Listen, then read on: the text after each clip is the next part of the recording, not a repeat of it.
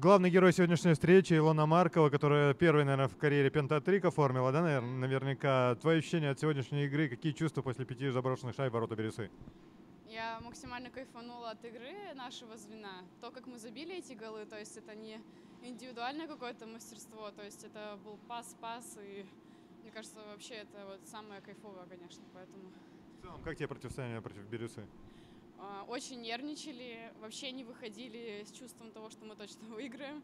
Вчера была очень тяжелая игра, мы сегодня вышли очень э, заряженными максимально, как только можно было. Вот, и в турнирной этой таблице у нас тоже уже не так все стабильно, поэтому нам было очень-очень важно выигрывать сегодня. Кто-то уже поздравил с твоим достижением, ну, все-таки исторический, наверное, рекорд для тебя. Да нет особо, ну да, партнеры только поздравили.